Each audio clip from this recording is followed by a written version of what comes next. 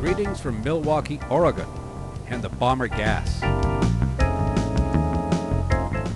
When you're driving on the old Pacific Coast Highway near Portland, don't panic at the sight of this low-flying B-17 bomber.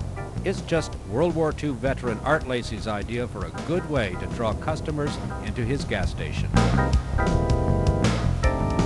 Art says that when people see the big bomber, they just jam on the brakes and head on in to fill up their tanks with gas. But what is the real secret to art success? There's an old proverb that my wife and I have both used over the years. If you stick and stay, you'll make it pay. And people like to go where other people is, not where they ain't.